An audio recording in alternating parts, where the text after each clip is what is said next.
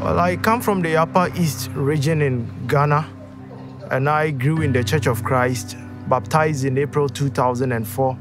Life in the northern part of Ghana is quite a dicey one, a poverty dominated area, and violence is something that is so common there.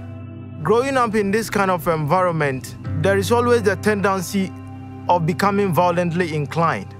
You stand a lower chance of being transformed. My dreams and my goals is to provide equal opportunities for people back in the North that will bring my people back in the North face to face with their own plight or predicament and to see their need for Christ and to make good use of the opportunities that are available to them. And so, looking at the distinct education I had in the seminary, I knew the university would give me a better one. And so, I decided to enroll.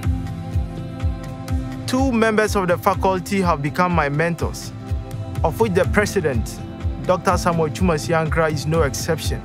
First of all, I see the president as doing something that I would love to do a miniature of it in the North to transform my people.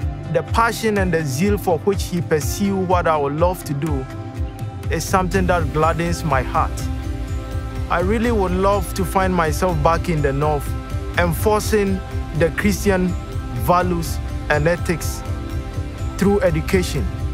My hope is that HCC will become a star in the eyes of Ghanaians and even Africa, that many will be drawn to HCC so that we become good citizens and good leaders for our country as far as transformation is concerned.